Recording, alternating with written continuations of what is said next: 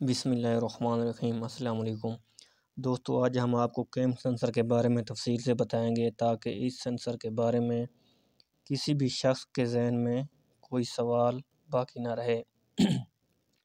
इस वीडियो में हम आपको बताएँगे कि कैम सेंसर गाड़ी में क्या काम करता है। इस सेंसर की लोकेशन, हर गाड़ी में कहाँ होती है, ये सेंसर कैसे काम करता है।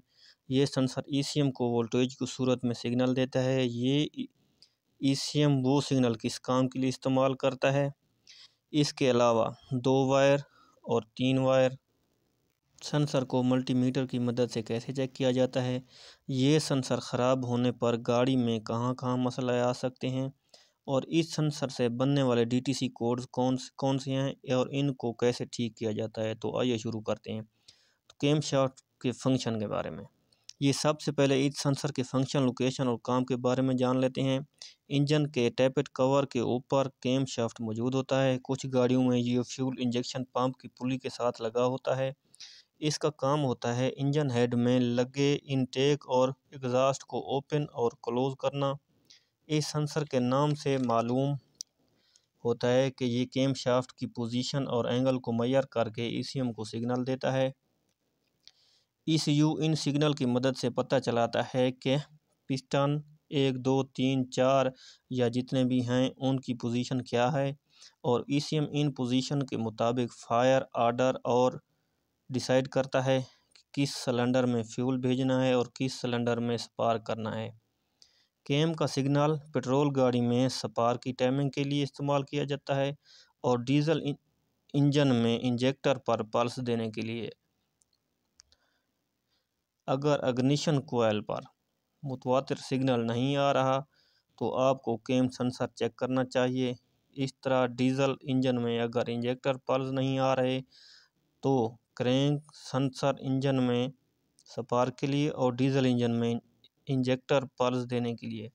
केम सेंसर केम शाफ्ट की एक साइड पर लगाया जाता है। इसको ऑपरेट करने के लिए इस तरह की एक टिथ मौजूद होते हैं, ये सब एक जैसे होते हैं, एक फासले पर लगे होते हैं, पर इनमें एक टिथ मिसिंग होता है। अब जब केम शाफ्ट घूम रही होती है और घूमते घूमते सेंसर के सामने खाली जगह आ जाती है, तब ये सेंसर मुख्तलिफ़ वोल्टेज मुहैया करता है, जिसकी वजह से ई सी एम को पता चलता है कि केम शाफ्ट ने एक चक्कर मुकम्मल कर लिया है और यू ई सी एम पर पिस्टन की पोजीशन को सेंस कर पाता है और फायरिंग आर्डर सेट करता है। अग्निशन कोयल में अब बात करते हैं इस सेंसर की वायरिंग के बारे में। दो और तीन वायर में होते हैं। दो वायर में आपको एक ग्राउंड मिलेगी और एक सिग्नल वायर ग्राउंड।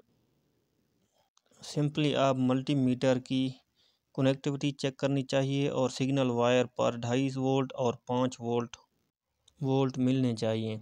तीन वायर पर एक ग्राउंड होगी, एक नेगेटिव होगी और एक पॉजिटिव, जिसको हम रेफरेंस वायर भी कहते हैं और एक सिग्नल वायर होती है।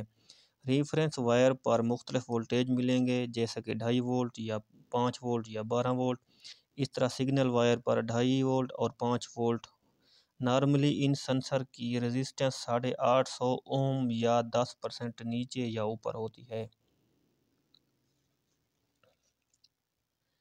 अब इन सेंसर को गाड़ी में मल्टीमीटर से कैसे चेक करेंगे?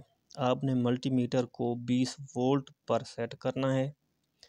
फिर आपने इंजन शाफ्ट की कैम घुमाने के लिए इंजन से जुड़े एक व्हील को लेफ़्ट टर्न कराना है। गियर को तीसरे या चौथे में लगाना है।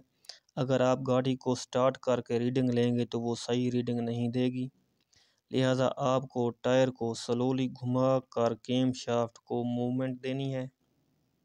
अगर सेंसर दो वायर है, अगर सेंसर दो वायर है तो मल्टीमीटर की एक प्राप छोड़कर दूसरी प्राप सिग्नल वाले पॉइंट पर लगानी है और दूसरी प्राप बैटरी के नेगेटिव पर। अब आपने टायर को स्लोली घुमाना है तो यहाँ पर आपको दो वोल्ट से लेकर पाँच वोल्ट तक मिलने चाहिए।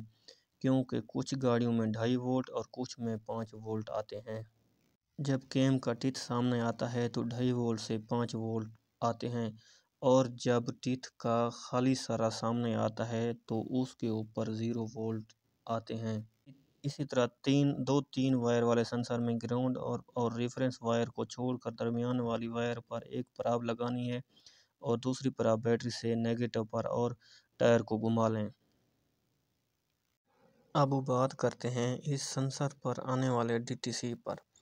तो इनमें सरफरेस्ट है P zero three zero three four zero cam shaft sensor no signal P zero three four one cam shaft sensor wrong signal P zero three four two cam shaft sensor A circuit low P zero three four three cam shaft sensor A circuit high P zero three four double four cam shaft sensor A sensor, A circuit intermittent इसका मतलब है वक्फे वक्फे से।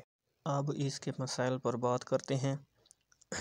केम sensor का ख़राब होना जो कि तब्दील होगा, या इसके कनेक्टर के आगे डस्ट या कार्बन का जमा हो जाना, केम शाफ्ट के टीथ का ख़राब होना, या उन पर कार्बन आना, इस सेंसर के रिंग का ना होना, या इस सेंसर पर रिंग डबल करके लगाने की वजह से वक्फा ज़्यादा हो जाता है जिसकी वजह से ईसीएम को सिग्नल नहीं मिलते, इसके ख़राब होने पर गाड़ी में क्या क्या मसाइल आ सकते हैं, वो हम आपको बताएँगे। सबसे पहले चेक इंजन लाइट का ऑन हो जाना, उसके बाद लंबा सलाफ लेना, स्टार्ट ना होना और स्टार्ट हो जाए तो मिस फायर करना, या फ्यूल माइलेज कम करना, या पटाखे मारना। आपको इन संसार से कुछ ना कुछ सीखने को ज़रूर मिला होगा। दोस्तों, हमारी आपसे गुजारिश है कि आप हमारे में अगर फेसबुक पे देख रहे हैं तो हमें लाइक और फॉलो करें। अगर यूट्यूब पे देख रहे हैं तो सब्सक्राइब करें।